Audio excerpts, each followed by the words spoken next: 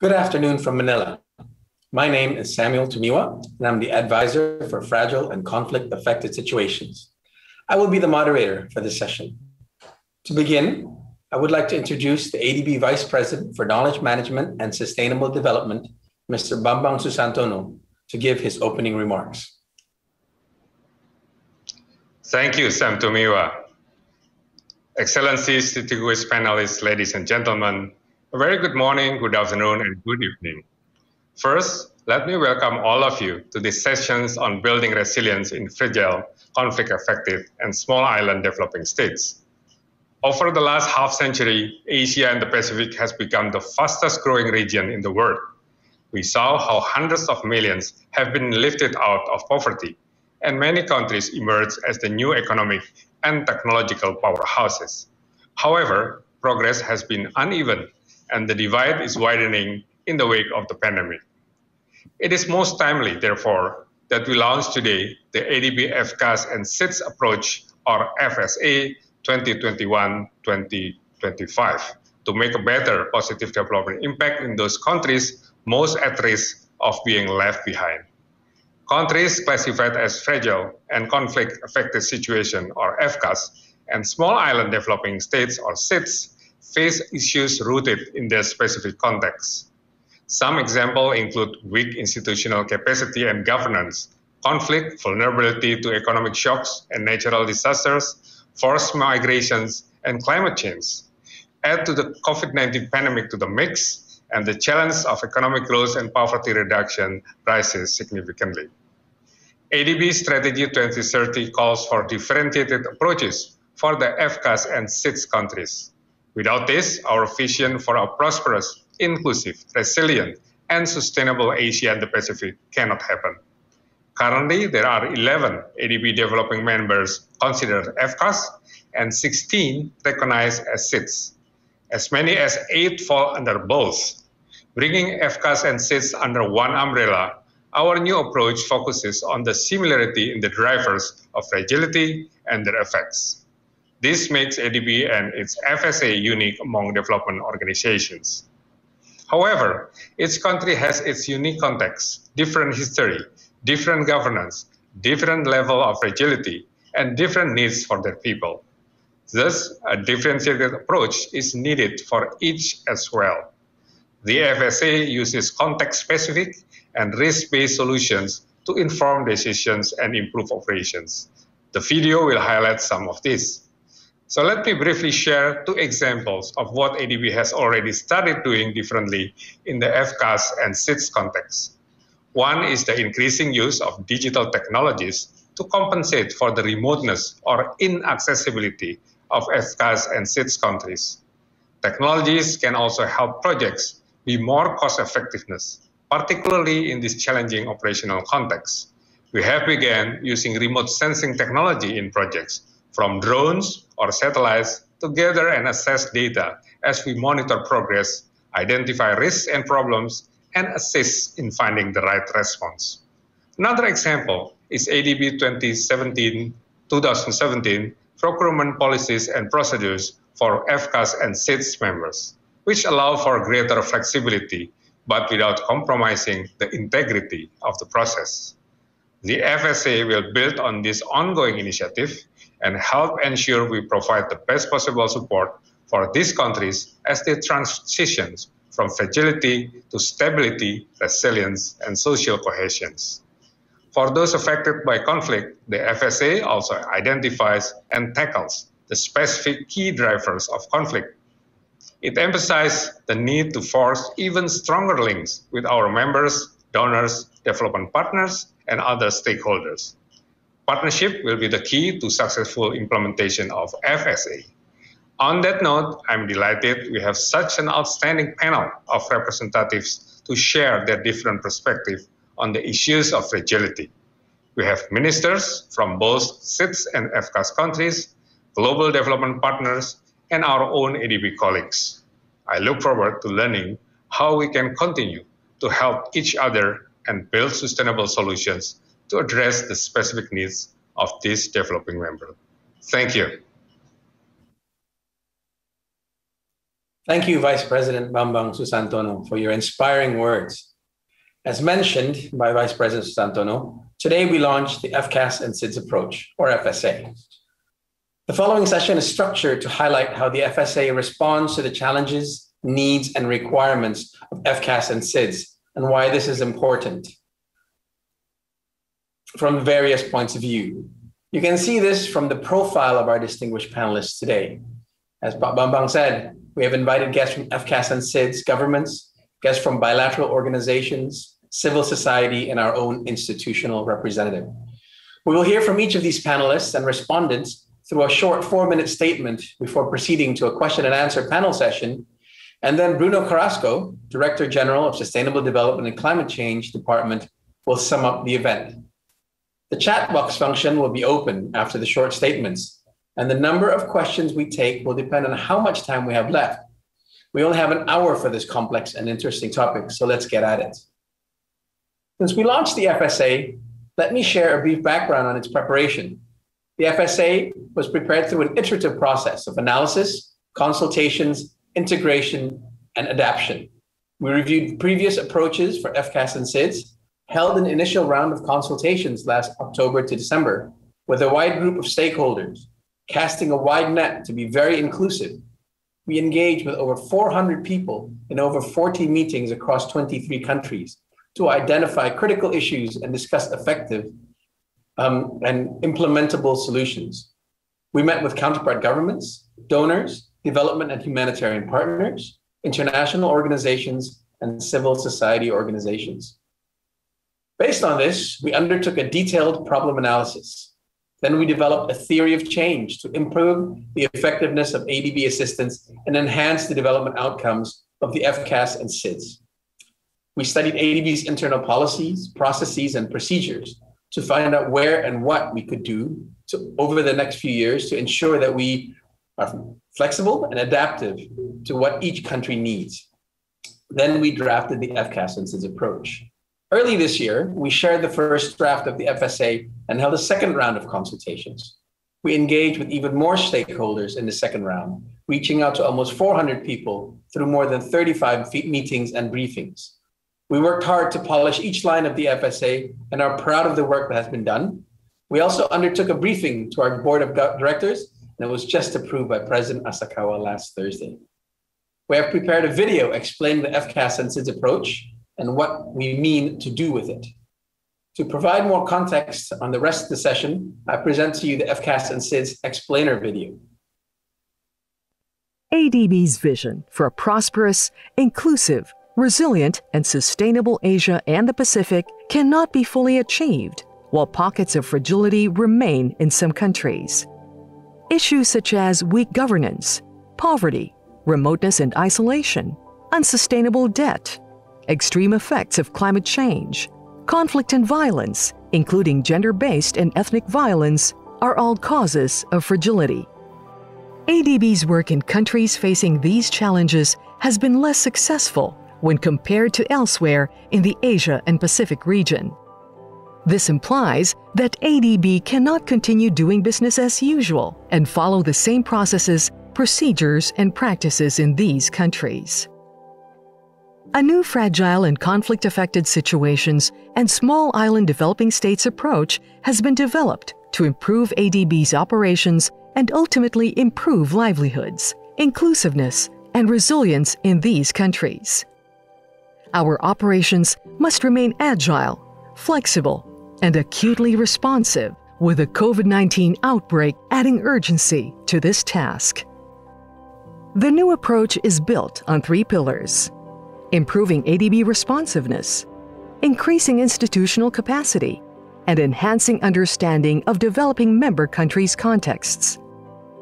Its underlying principles include flexible business processes, procedures, and practices, introduction of fragility and resilience assessments, context driven and risk informed decision making, and optimizing adequate resources and strategic partnerships. Under the new approach, the way ADB prepares its country partnerships strategies, designs its projects, oversees their implementation, and sets and monitors its performance targets will be even more tailored to the specific context of each country. This means a shift to enhanced understanding of the context and adapting to it. ADB will work closely with its clients, make changes, and increase flexibility to its processes and procedures to make them more responsive to the specific needs of FCAS and SIDS on such issues as social and environmental safeguards, procurement, and financial management without losing their integrity. In Afghanistan, a fragility and resilience assessment was prepared to better inform the country partnership strategy 2021 to 2025.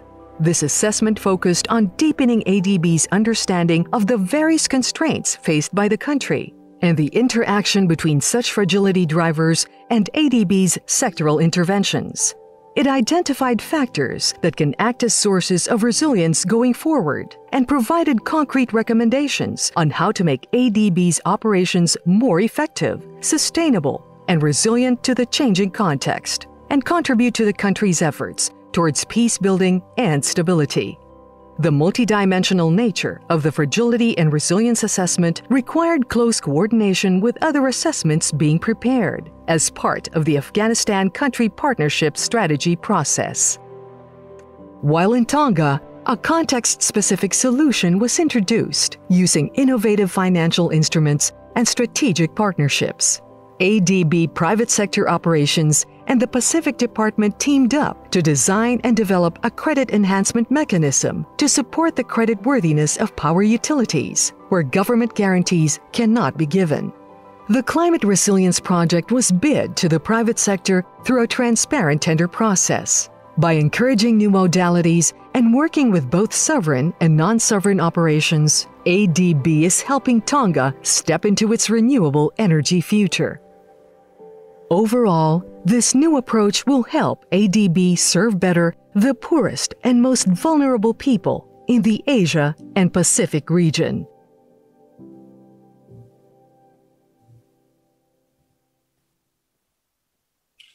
Our esteemed panelists today come from all parts of the world.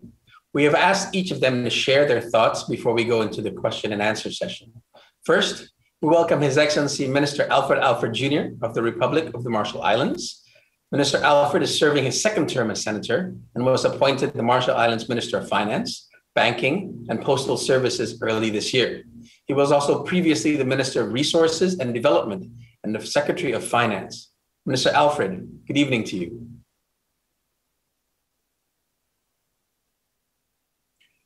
Uh, good evening to everybody. Excellencies and ladies and gentlemen, greetings of Yokwe to you all from the Republic of the Marshall Islands. And as introduced, my name is Alfred Alfred Jr., and I am currently serving as the Minister of Finance for the Republic of the Marshall Islands. It is indeed my pleasure to join you virtually in this event, focusing on building resilience in fragile, conflict affected, and small island developing states. Before I proceed, I would like to acknowledge and express my appreciation to the Asian Development Bank for arranging this important event, and more so for inviting a small island developing state from the Pacific to participate in this dialogue. I am privileged to be able to share our experiences and policy lessons in the context of resilience building in the midst of a pandemic and from the viewpoint of a small island developing state faced with the real challenges of climate change. The very first point that I wish to make is that climate change is real. Barely two meters above sea level, with very narrow land structure and no mountains, we are already seeing the painful impact of climate change in the Marshall Islands. Rising sea level, more extreme weather, more frequent drought, and continuing inundation of habitable land by sea waves are some of the new realities that we see on a daily basis. Just last week, when we had the highest tide of the month, the airport on one of the outlying atolls was reported to be completely submerged with salt water that had literally risen from the ground to render the airfield not serviceable. On a nearby outlying atoll, another outlying atoll, where field trip ships are the only link to the main commercial centers of Majuro and Ebeye. Goods from ships are loaded onto smaller boats and carried one mile onto the shore to be delivered to their owners. Only because the dock, the only dock on the island, has been destroyed by changing current pattern and strong waves. And on many other islands, roads are being destroyed by encroaching seawater and communities being separated as a result.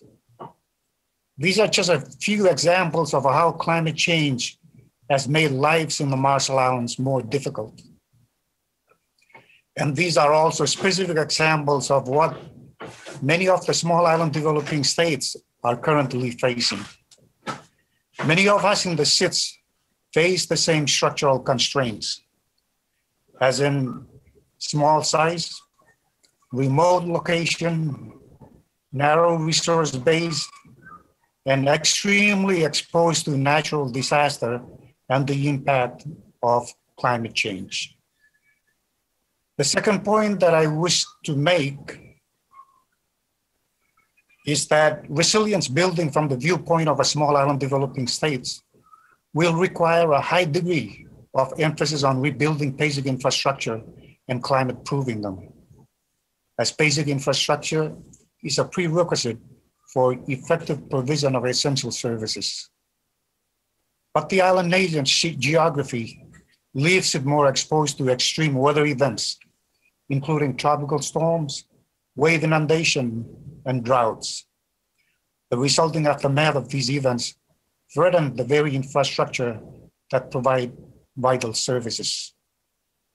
Therefore, it is important that small island developing states are able to make better informed investment decisions when it comes to designing and building infrastructure that can withstand climate change driven threats. I am grateful to note that the ADB's FS approach has provided some synergies in which capacity development and private sector engagement can be leveraged to arrest the negative impact of climate change. I uh, look forward, so as my um, colleagues in the Marshall Islands and the small island developing states look forward to engaging with Asian Development Bank in bringing forward these synergies for the betterment of our communities. Thank you very much. Thank you, Minister Alfred, for your time today and the special points that you made on climate change and the vulnerability and how they need to be addressed. Uh, we will call you back on screen during the moderated panel session. Thank you again. Now we welcome His Excellency, the Acting Minister of Finance of Afghanistan, Mr. Khalid Payenda. Mr. Payenda is a distinguished economist and previously served as the Deputy Minister of Finance of Afghanistan, as well as the Director General for Macro Fiscal Performance. I worked closely with Minister Payenda when he was the Deputy Minister and I was the ADB country director in Afghanistan. Minister Payenda, Assalamu alaikum, Khobasti. It's very nice to see you. Thank you very much, uh, Sam. Uh, Excellencies, uh, ladies and gentlemen, uh, good day, good afternoon, uh, and good morning to, to all of you. Uh, it's, it's, good to see you, Sam, and, and ADB colleagues and co colleagues from international development agencies and, and other government and, and, and organizations. I'll sp speak a bit about our type of challenges. Uh, it's, it's impossible to speak to this, uh, this forum without acknowledging the gravity of situation in Afghanistan. In an already difficult uh, situation, the international withdrawal presents us with our biggest challenge of the last two decades. It is quite literally a question of survival. Uh, uh can our country as uh, leadership uh, come together and make peace and build an inclusive coalition or will withdrawal send us back to the nightmares of the 1990s?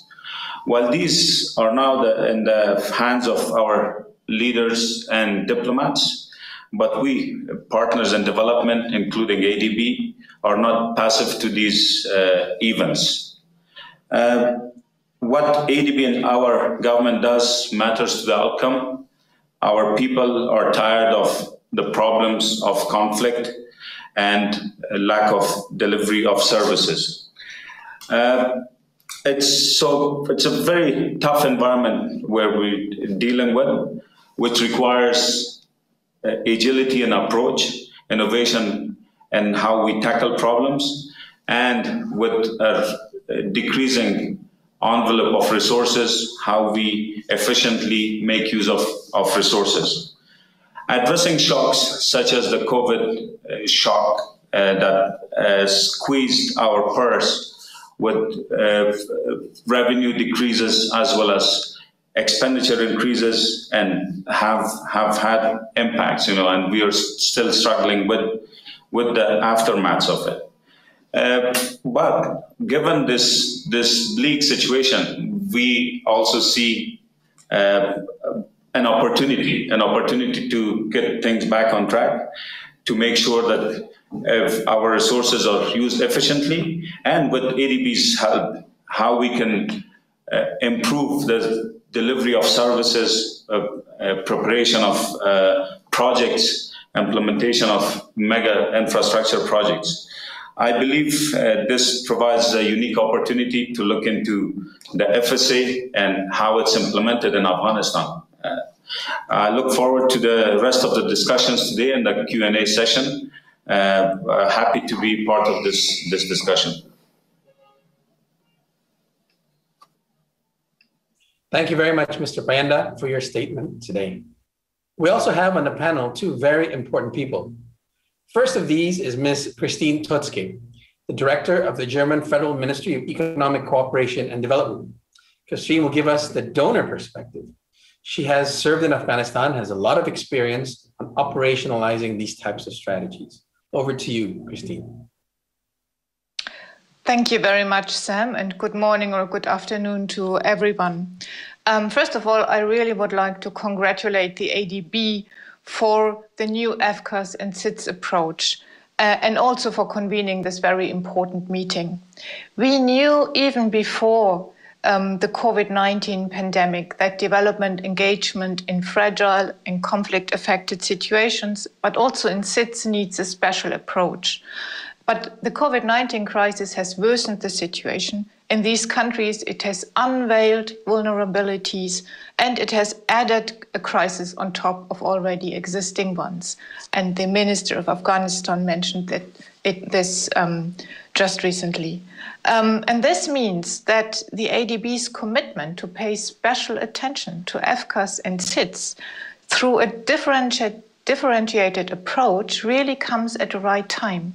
It is particularly important in the implementation of the Asian Development Fund. I would like to highlight three elements of the approach which we as Germany um, definitely welcome. First, you have to know the context. And we welcome that now, in order to design a program which considers the specific situation of FCAS and SIDS, needs a thorough assessment of the country context. This is crucial. So we applaud the bank's commitment to further develop the fragility resilience analysis on the basis of a standardized framework and systematically integrate them into country partnership strategies. Each situation is different. And we know standards are needed, but we should always be beware of blueprints. I am particularly pleased that these assessments will cover multiple dimensions from disaster risk and change, climate change, governance, and conflict. This is important as they are usually interlinked. Second, special skills and tools are needed we also welcome the element of strengthening the internal capacity. In order to truly adapt the bank's way of working, ADB will need to ensure that its staff is properly trained, but also incentivized to work in these FCAS situations. It's all about putting on a so called FCAS or SIDS lens. I'm pleased to hear that staff trainings are planned. They need to be offered in a systematic manner. Third, one thing is certain in FCAS, and that is volatility, which means a constant and regular update, monitoring, and measuring results is needed in order to adapt and to respond flexibly to the realities on the ground. And I can see that this is adequately reflected in the proposed results framework. Some might think that the approach sounds a bit technical, but I can assure you that this is really the hard work. I know that very well from my own institution. But also, please allow me to make three recommendations. The first, buy in from management will be important for the success of the approach. It will be crucial to ensure it is operationalized, particularly with regard to the provision of the necessary resources, including the staffing on the ground. Second, not everything has to be invented from scratch. A lot of experience exists within other multilateral banks and institutions. The World Bank adapted its FCV strategy at the beginning of 2020. And that is why we explicitly encourage ADB to work closely with other MDBs on knowledge and exchange, but also on the ground. And I'm pleased to hear that a harmonized approach on FCAS classification is planned. And third, we would also encourage ADB's efforts to strengthening the humanitarian development peacebuilding nexus. For example, by participating in country based forums with actors across the HDP nexus and by reaching out to, for example, UNHCR and UNDP. This is part of a sound and efficient multilateral collaboration where each organization can bring in its strengths. Finally, we ask ADB to inform the board regularly about the rollout and progress on implementing the FCAS and SIDS approach. I thank you. Thank you very much, Christine. And your advice and recommendations on getting buy-in from government, um, collaboration with other MDBs, and uh, the humanitarian peace development nexus is very well noted. Thank you very much. Uh, and now we will, uh, we will be hearing from Mr. Ryutaro Murotani, the head of the Office of Peace Building at the Japan International Cooperation Agency. JICA has been a strong partner with ADB in our development work in FCAS and SIDS. Please go ahead, Mr. Murotani-san.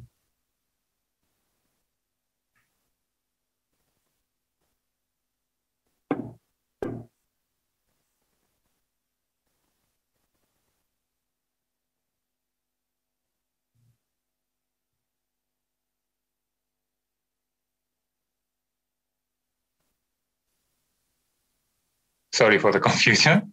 Uh, once again, thank you very much, Sam, for giving me the opportunity. And excellencies, ladies and gentlemen, uh, good afternoon and good morning. I would first like to uh, congratulate ADB on the successful launch of the FCAS uh, SIDS approach. Uh, JICA has been privileged to be invited to the prior consultation, and I am thankful for, for that. Uh, the key messages, uh, such as context-specific approaches, importance of fragility analysis, institutional capacity building, a partnership, all resonate with JICA's approach towards FCV. So I am very glad to be on this panel today, as, as, as well as I am looking forward to working with ADB uh, on this important subject. And, and I also like to uh, emphasize that in the context of Asia Pacific, fragility is multidimensional. There are risks of violent conflict at national level, and at subnational levels as well. But in many countries and areas in the region, there exist uh, multidimensional risks and fragilities. The vulnerable populations to conflicts are also vulnerable to varieties of shocks such as poverty, natural disaster, climate change, infectious diseases, and so on. And the COVID 19 has demonstrated how the risk in public health can cause multidimensional shocks to the people's lives and the shocks are particularly acute to the vulnerable populations. And the Pacific Island countries are facing their particular fragilities to natural disasters and climate change, and we need to pay special attention to it.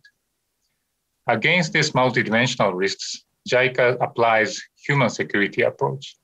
A human security approach is people-centered, prevention-oriented, and multi-sectoral approach, because we believe that the lack of development, lack of strong health systems, of job opportunities are all potential causes of fragility and conflict.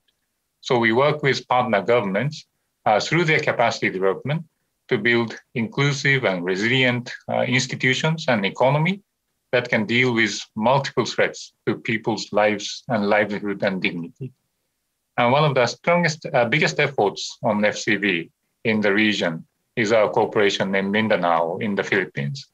JICA has been actively supporting the region since 1990s, and now we are working closely with the Philippine government as well as the Bangsamoro Transitional Autonomous Government to help realize the peace process uh, from the development perspective.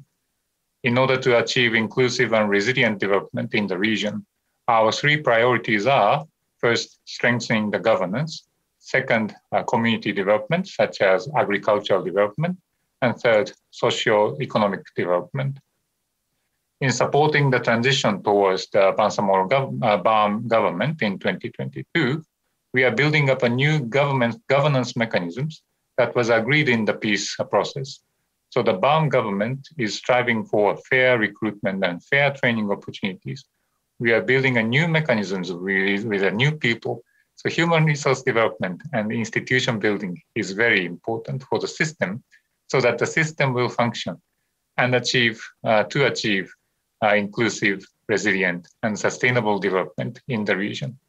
Uh, we are facing the new challenges because of the COVID-19, but we are working with, uh, uh, with the government and local communities to realize, uh, to, to, to create an inclusive and resilient economies so that people can, people can enjoy the peace achieved through the peace process. Thank you very much, Anna. we, I am looking very much forward to this session. Thank you. Thank you, Murotani-san. Thank you also for bringing uh, the topic of subnational pockets of fragility and subnational issues of conflict. Uh, thank you very much. Um, rounding out our panel is our Director General for the Pacific Department, uh, Ms. Leah Gutierrez. Over to you, Leah. Thank you, Sam. Excellencies, ladies and gentlemen, joining us virtually from many different parts of the world, good day and good evening. I welcome this opportunity to share some perspectives of our operations in the Pacific where we continue to help the governments of our 14 small island developing states tackle the challenges, fragilities, and vulnerabilities described by today's distinguished panelists. Overall official development assistance in the sub-region is growing, driving evolving economic opportunities. Our work with the Pacific governments is guided by ADB's country partnership strategies for Fiji and Papua New Guinea, and for the 12 smallest SIDS by the Pacific approach, which is in the process of final preparation for the period of 2021 to 2025. The Pacific approach is our multi country partnership strategy, guiding ADB investment and non lending activities across 12 SIDS. For 2021 to 2025, it is proposed to support a resilient Pacific and help the governments to one, prepare for and respond to shocks, two, deliver sustainable services, and three, support inclusive growth. Today, I would like to share how the proposed Pacific approach will help ADB further expand its differentiated approaches in the SIDS, including SIDS that are fragile and conflict affected situations. I will start with the most immediate and fundamental threat to the Pacific climate change. Climate change is an exist- existential challenge for the SIDS, with the window for taking action closing fast. Accordingly, the proposed Pacific approach, approach seeks to build climate resilience holistically. This will support necessary data collection and planning to develop the most appropriate investments.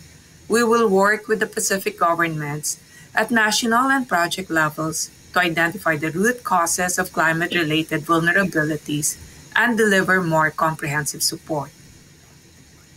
Another critical area of engagement in small island developing states is capacity institution and institution building. The challenges in the Pacific cities in this area are well known. Small populations lead to capacity constraints. The Pacific approach will scale up capacity building and have capacity supplementation to address skills gaps. Compliance with ADB and other MDB processes can be a daunting prospect for capacity-strained SIDS governments, leading to delayed projects and delayed development impacts for the people of Pacific.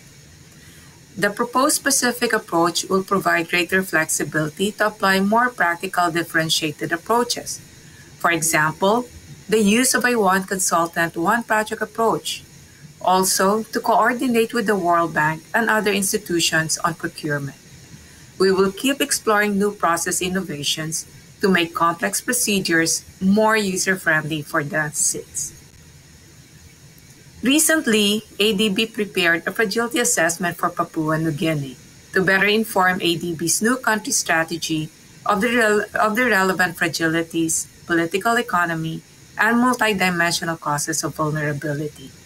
We are now designing the tools to integrate this context specific knowledge through all our operations from country level um, strategies, uh, from country level strategies, and help us design better operational responses.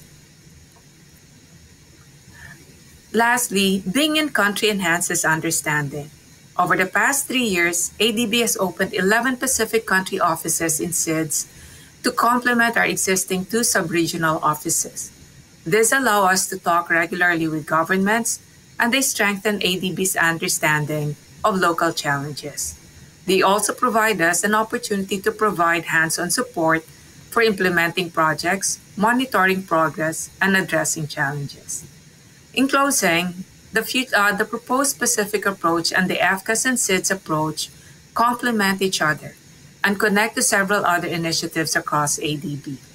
The Pacific Department of ADB looks forward to sharing our experiences and expertise to collaborate on and successfully implement the, IF, the FCAS and SIDS approach so we can help the Pacific SIDS build resilience and a stronger future. Excellencies, ladies and gentlemen, thank you for your time. Thank you, Leah. And thank you for the colleagues in the Pacific Department for your guidance and your cooperation and collaboration as we were preparing the FCAS and SIDS approach and we look forward to implementing both the FCAS and SIDS approach and the Pacific approach going forward. Now I'd like to invite Ms. Sanna Johnson, the Vice President for Asia and the, uh, from the International Rescue Committee, to respond with her thoughts on what the panelists have shared. Sanna, welcome. Thank you so much.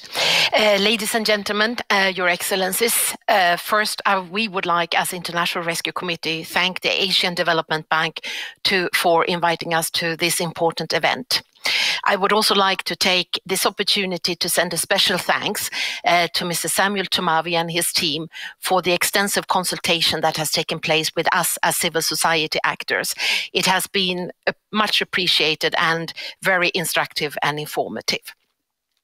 I represent the International Rescue Committee, uh, who responds to the world's worst humanitarian crisis and were founded in 1933 by the great Albert Einstein.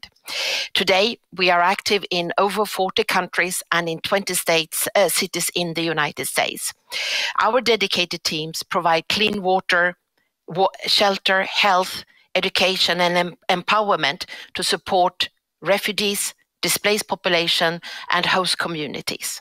In Asia, we have been active for over 40 years with immediate life saving work and development actions, serving over 25 million people in, 19, uh, in 2020. This we do together with 60 national partners, but also partially uh, self implementation. The IRC believes that ADB's launch of its no approach couldn't be more timely as the world is on fire. The current scale of human displacement is staggering. Today, due to conflict, wars, and climate impact, we have 80 million people split between internally displaced and refugees fleeing for their lives. The COVID 19 pandemic has taken millions of lives, increased poverty levels, increased protection risk for women and girls, and shed a devastating light on how ill prepared our national health systems are to respond to health outbreaks, not the least in fragile and conflict affected states. We know that the half world's maternal mortality occurs in war torn states. Children living in countries affected by humanitarian crisis accounts for nearly half of all under five deaths. Countries affected by humanitarian crisis account for 43% of all out of school children at primary and lower secondary levels. Not the least, we have to acknowledge and recognize that girls are women and girls and women are subject to increasingly unimaginable violence when they flee, when they live in refugee settings and are trying to build new livelihoods. This means that the need for aid it's larger than ever, and especially for fragile and conflict-ridden countries. But it has to be a better aid, a coordinated one. So, despite the fact that fragile states produce over 60% of the world's displaced and host nearly half of the world's displaced and 43% of the world's extreme poor, they receive only 30% of the over, total overseas development assistance, and this has to change. We also know that despite the best of intention, in many low and middle income countries, development and humanitarian institutions and actors work on different time scale with different funding streams and different assumptions. Regrettably, Therefore, the sum of the interventions are less than what they could be. Until development and humanitarian players, uh, players working in the same countries with overlapping populations share context analysis, client feedback, program interventions, and effective utilization of operational means and performance metrics. We and they will continue to operate silos in silos rather than in tandem. That it means, in its simplest terms, that we, humanitarian and development actors, guided by what the population we serve are asking for, need to work hand in hand and be more flexible, agile to ensure the future we all want to see. That's why the launch of ADB's new approach is both much needed and welcome. It connects to the nexus and the operationalization of key actions, from the risk-based strategic planning to design, monitoring, evaluation, the integration of technology and capacity building, and critically, critically, the approach highlights and emphasizes the need for a very strong gender perspective. These areas are all areas where we as the civil society actors are uh, constantly investing in too, why we hope for further elaboration and collaboration with ADB. Once again, congratulations to ADB.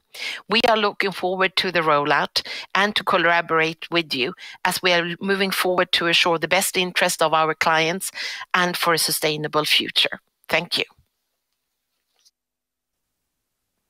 Thank you, Sanna. I would like to thank all the panelists once again for being here today and working with us in support of the FSA development. Now we would like to call everyone back on screen and begin our panel discussion. You'll see that there are question and answers in uh, questions, sorry, in the uh, in the discussion panel, and perhaps the first one that I see uh, that I would like to put to Minister Alfred Alfred and uh, Minister Payenda. Um, so, the, and, and this is a question that, that has been uh, has had the uh, most uh, requests to be asked is um, as the ADB Vice President noted, um, the significant economic growth in Asia and the Pacific over the past half century that has brought millions out of poverty. He also said that no country uh, should be left behind from this economic growth. This question really, is for the needs to be done by FCAS and SIDS or by donors or by the ADB to make sure the poorest and most vulnerable countries are indeed behind? Uh, please keep your answers to about a minute or two. Thank you very much. Maybe we start with Minister Alfred Alfred.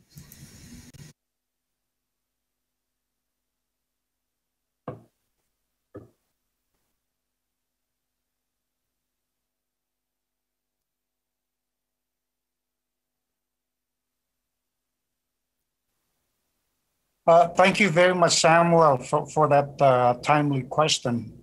given the launching of the uh, FCAS SIDS approach. And um, from the perspe- perspective of the SIDS, I, I would say that the the approach is um, uh, uh, the the the approach is well well timed, given the uh, pandemic and the um, negative impact that we continue to face from climate change. It provides some synergies in which um, we can uh, we, we can easily apply to all the different situations in the uh, that, that are being faced by the by the SIDS. The flexibility that is encapsulated into the approach take into account the different uh, level of exposure uh, as well as the uh, different stages of development that each of the SIDS are are facing at this at this stage. So I would uh, very very much um, commend the Asian Development Bank not only on the launching of the approach, but as well on the uh, the the uh, the scalability and the flexibility that is encapsulated into it. I think it's a uh, it, it's a pathway in which the the SIDS can meaningfully engage with with the Asian Development Bank to to ensure that uh, no communities in the cities are left behind in terms of their vulnerability to, to climate change as well as to natural uh, disasters. Uh, thank you very much, uh, Samuel. Thank you, Mr. Alfred. Mr. Payenda. Um... Yeah, thank you very much, Sam. Uh, uh, a few points. Uh, I think it's important for ADB to uh, uh, operationalize the or change its operations based, based on the risk analysis of the FSA done uh, to get maximum use of the resources at hand and including the private sector. Uh, the analysis uh, has been done. What needs to be done is the implementation of them in, in, in our context. Uh, we also know that uh, many projects do not perform well because they are not designed well. And one, one aspect of it is, is, is based on the uh, uh, fragile situation that, that we have. I think it's it's crucial for ADB to to train its uh, resident missions as well as headquarters uh, staff on on the local context. Uh, and and coming back to my previous point of projects that are not designed based on on uh, on the context, including fragility, are are set up to be to be failures. so that that's that's a, a crucial point and and and also uh, a relevant point on uh, uh, on support to the counterpart institutions on on fragility, raising their their capacity, and and also helping them with with understanding what the FSA guidelines are and and how that could be taken uh, into consideration when designing as well as implementation of, of, of projects is, is, uh, is, is, important. One thing that is, uh, is, is, is a driver of uh, fragility in, in almost all cases is, is its impacts on the population and, the, and their uh, livelihoods. I think private sector plays is a crucial role in this and bringing private sector more into this discussion is, is important because the resources uh, that, that the governments as well as the international IFIs, including ADB, bring to the table are, uh, are limited. Private sector can play a crucial role. And the last, but, but a very important point is a collaboration between implementation partners. There are a lot of, of lessons learned and if, if those are collaborated, you know, that this means better implementation, better use of resources, lower levels of duplication. Uh, I'll stop here. Thank you, Mr. Bayan. Maybe we can extend these, uh, this question also to Christine and Ryutaro. Um, in, in, your view, what are the most crucial things that need to be done to ensure that no one gets left behind in Asia and the Pacific. Uh, first with Christine. Yes, thank you very much, and thank you very much for this uh, important question. Um, I think I think the uh, the ideas of the of the FCAS approach of ADB they they all go into the right direction. Um, first is a very good context analysis.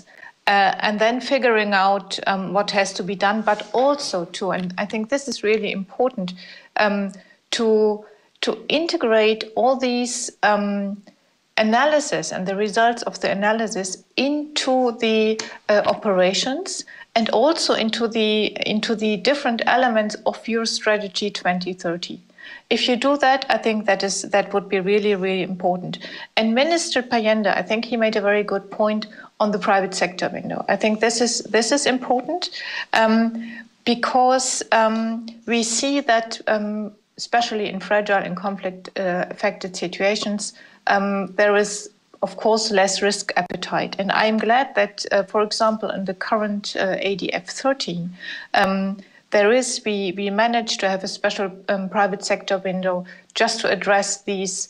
Um, these uh, these these questions, and I think that is important. And I would like to come back to what Sanna Johnson said, that um, it is so important to overcome the silos. It is really important that we focus on a better cooperation, on a better collaboration. As I said, not everything has to be invented from scratch. There are a lot of assessments, a lot of analysis, a lot of experience from other organizations who also work on the ground. And if that is really more used and if there are synergies, I think that that would be um, a very good, uh, a very good step towards a, a better um, addressing of uh, no one leaving behind. Thank you. Thank you, Christine.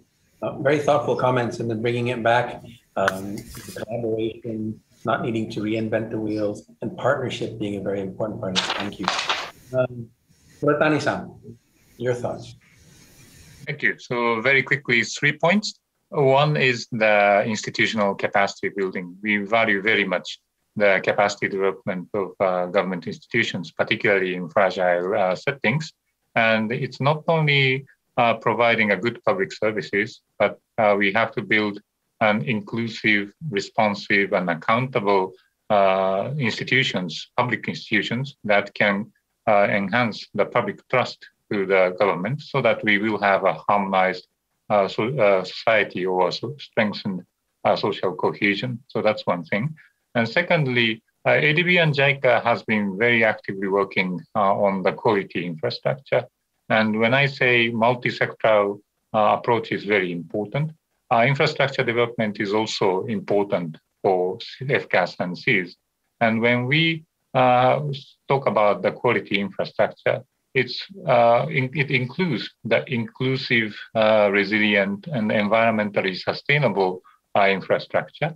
So I think uh, having a having a more harmonized uh, context analysis and the fragility assessment, we can more effectively deal with inclusiveness and the resilience of infrastructure development as well.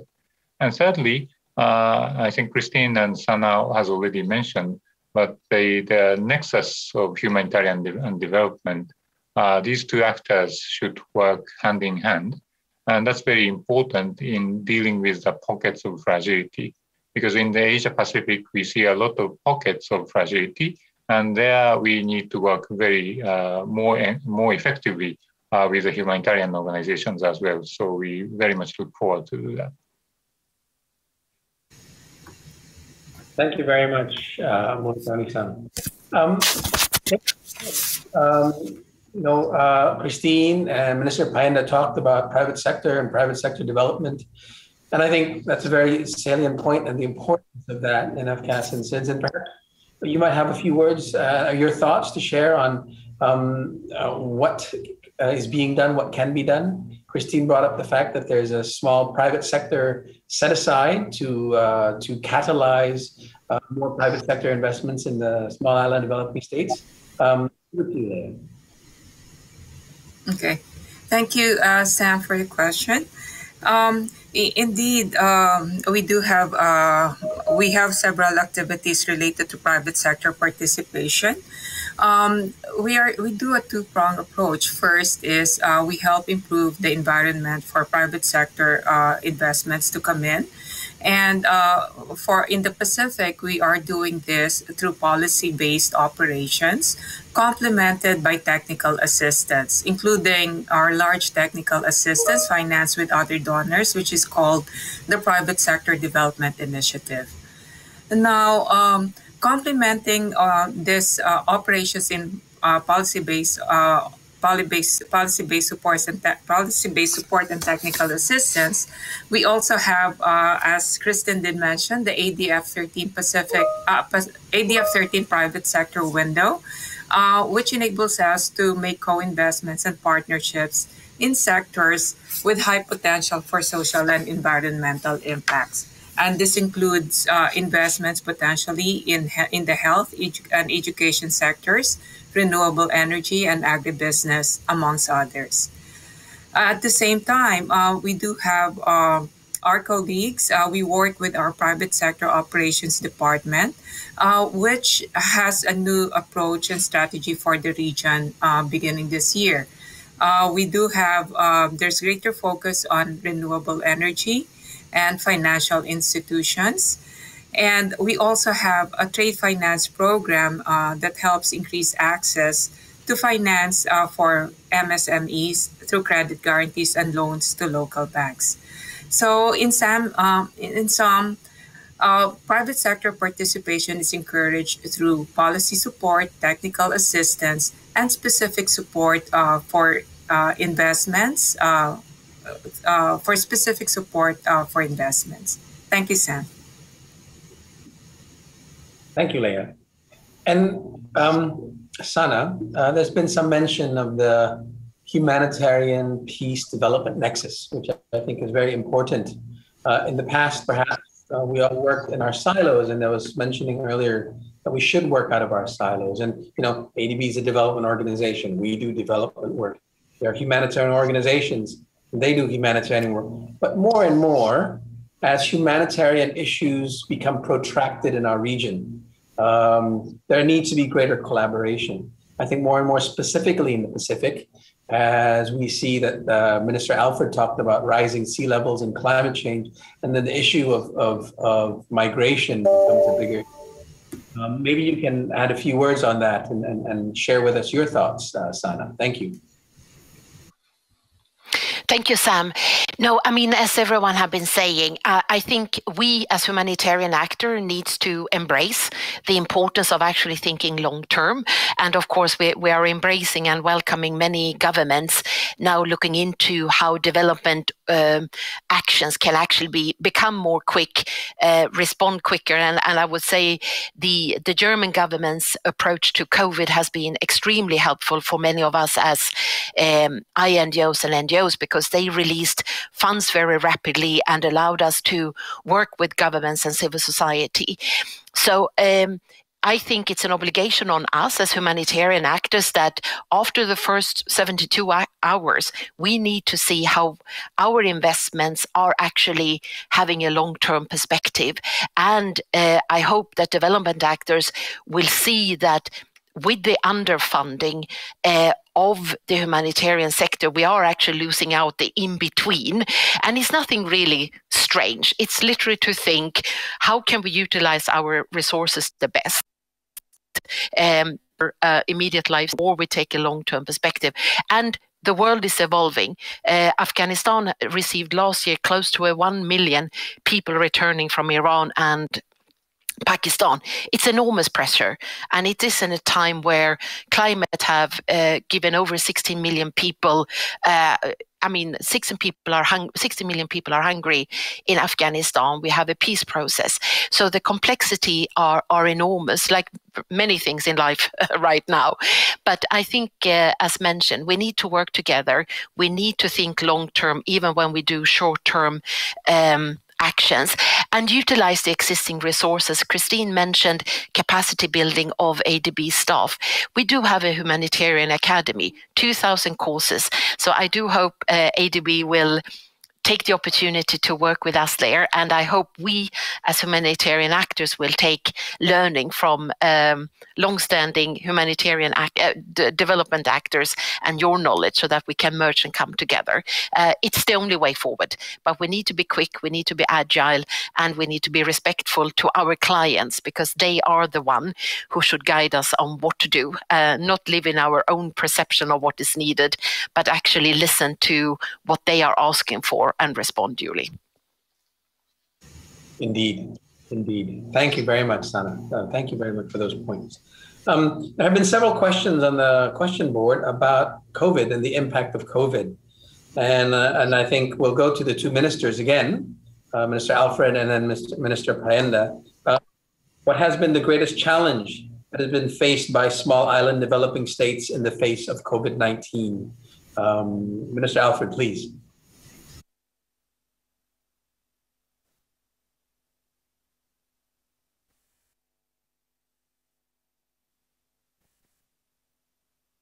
Minister Alfred, I think you're still in mute.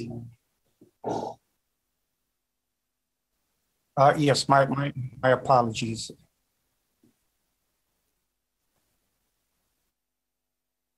Uh, fortunately, yeah, for the case of the Marshall Islands, we continue to be COVID-19 free. No community level transmission has occurred yet, despite two border cases that were contained. Uh, but I would say that um, we, with the dilapidated state of, of, our infrastructure, the possibility of COVID 19 entering our borders is a scary proposition. I think um, uh, well, what we should uh, put some emphasis, on is to ensure that our, our uh, infrastructure are, are adequately set in place to, to be able to uh, receive whatever services and needs are uh, required for campaigning or um, uh, other health health uh, action that need to be taken, not only for prevention, but in the case that COVID-19 enters the enters our borders, then we should be able to serve, service a wide wide uh, spe- spectrum of the community. Uh, given the geographical setup of the uh, country, it's important that we have ready access even to the most outlying atolls in the Marshalls. Uh, thank you very much. Thank you, Minister Alfred. I think that's right. I think uh, preparedness and having the infrastructure there and the human resources there for the preparedness to respond in case there are cases, I think is an important. I think also perhaps um, the economic impacts. Not maybe it's good, it's wonderful that you have not had a number of cases in the Marshall Islands, but the economic impact because of closed borders, I'm sure have had an impact also. Um, now over to uh, Minister Payenda. Um, and how has uh, Afghanistan dealt with or addressed and, and coped uh, COVID-19? Thank you, thank you very much, Sam. Uh, uh, luckily, we did not have a lot of uh, human casualties. Uh, the resistance levels, uh, I don't know what the reasons were, uh, of higher in, in, Afghans, but it has taken a toll on on on, on our economy. it's it's it's contracted two to four percent. final figures to be to be issued, but it has taken a toll on, on, on our road to self-reliance. We've committed to increase domestic revenues, but domestic revenues declined 16% last year. It also take a toll on our programming of expenditure, 10% more expenditures for, for COVID, but the devil is in the details. A lot of uh, programs. Uh, normal development had to be uh, had to be uh, re rerouted to address uh, uh, effects of, of, of, COVID. So it has been a disruption in our programming. A lot of long-term projects had to be cancelled to make room for for uh, humanitarian and immediate um, needs of, of the population in response to, to, to the COVID. There have been a few bright spots as well. I've seen a, a, a jump, you know, I've, having been out of the government for two years and coming back, uh, it's, it's been a, a, leap in digitization. You know, we have a lot of uh, uh use of use of uh, technology uh, and, and, and our not only communications, but, you know, digital ID cards have, have uh, uh, uh, the distribution has gone up by leaps and bounds. We've we've had digitization of tax payment, custom clearance, and, and uh, some other services that are de- delivered by, by the government. Um, so so that has been uh, that has been uh, the impact of COVID. Hopefully, the second and the third and, and, and the subsequent waves would not have any catastrophic uh, impacts, and we are able to then get back slowly back to, to normal development. Thank you. Thank you, Minister Payenda. Um, good to hear that um, uh, uh, the positive thinking going forward. Um, I'm going to now um, move to the closing uh, remarks. And um, thank you very much for the questions that everybody posed. Um, and I pass this on to my boss, the Director General for Sustainable Development, Climate Change, uh, Bruno Carrasco. Bruno. Thank you very much, Sam.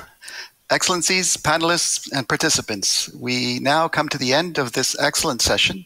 I would like to extend my deepest gratitude to the panelists for their informative statements and rich discussions today. Thank you to the Honorable Alfred Alfred Jr., Secretary of Finance from the Republic of the Marshall Islands, for his points on climate change and the vulnerabilities on, of the Pacific Islands, as well as the need for capacity development and private sector investment.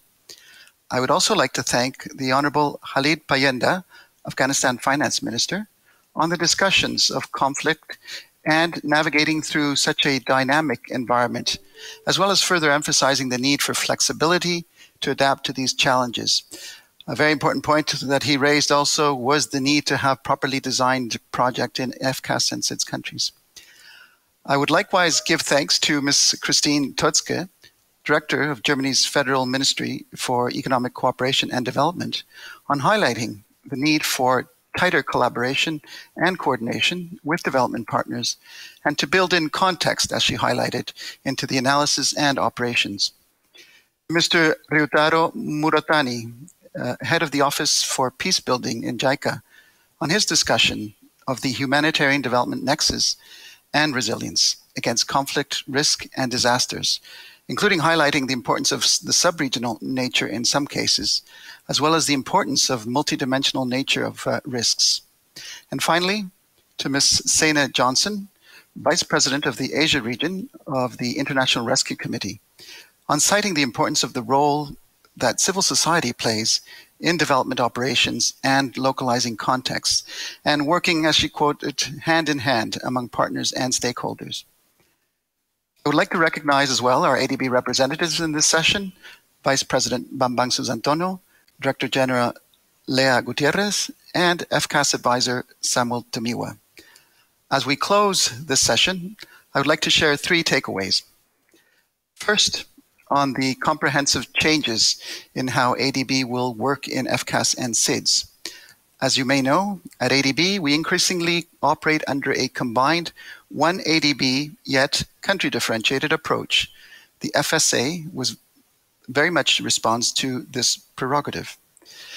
Each of the FSA's three pillars, as you heard, will lead to significant changes in how ADB approaches our work in FCAS and SIDS. The 13 key action areas and 34 specific sub-actions will be our roadmap to implementing and institutionalizing the FCAS and SIDS approach, or FSA, including changes in key guidance documents from staff instructions and guidance notes to the project administration memorandum. We also will monitor and evaluate our actions closely to make sure they adapt to the dynamic environments in FCAS and SIDS and remain relevant. Next, on context specificity and risk-informed decision-making as the foundation of operations in FCAS and SIDS. Both country planning and project preparation and implementation procedures will change. Country planning and programming processes will focus on upstream analytical work to ensure the context specificity of country operations, especially through the fragility and resilience assessments. Based on these comprehensive assessments, projects will be designed for the specific context of each country and will form the basis for risk informed decision making during implementation. And finally, on knowledge and analytics to enhance skills and change mindsets. Knowledge products and training programs are crucial to enhance understanding of the business uh, of the new business processes, excuse me, procedures and guidelines for both ADB and project counterpart staff. Our new FCAS and SIDS database will track historical trends to better inform our decisions. We will also create knowledge sharing platforms and through partnerships and collaboration, including with participants in today's panel, bring in global good practices to, to our operations. These products will improve our insights into the drivers of fragility and how to help address them. We have a significant task ahead of us to implement the FSA and provide our poorest and most vulnerable developing member countries with the support they need. However, and more importantly, as you've heard earlier, we are delighted to announce that we have a solution. Last week, the FCAS and SIDS approach was approved by our president, and we are very pleased to officially launch it today. We will be sending all of the attendees an advance copy of the FCAS and SIDS approach immediately after this event. In the coming weeks, we will have the published version available on our website. Let's get started. Thank you very much for attending this session and we look forward to seeing you in person again soon. Stay safe and keep well, everyone. Thank you once again. The meeting, the seminar is now adjourned. Thank you.